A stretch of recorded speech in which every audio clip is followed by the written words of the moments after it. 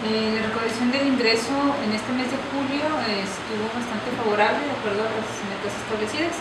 Tuvimos una meta de 134.400 pesos, se recaudaron 233.020 pesos, un avance del 173%. Entonces sí, ahí hubo un buen ingreso con respecto a la meta para este mes de julio.